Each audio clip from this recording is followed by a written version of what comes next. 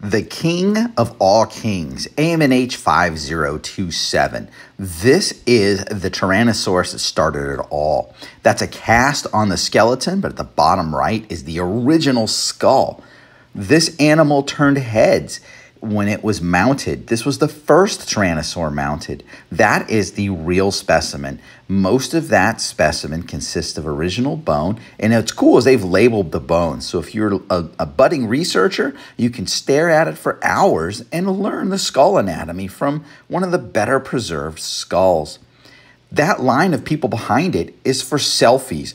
I got in that line too it makes shooting videos of this animal tough because it is a huge draw in the crowd of really neat specimens.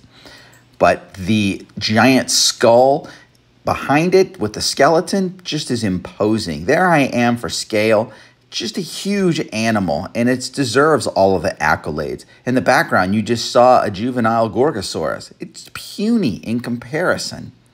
I love this skull.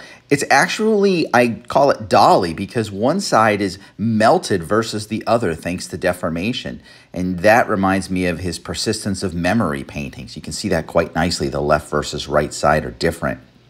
This is the original drawing, how they wanted to mount it. And it was mounted this way for many, many years. This is the second paper.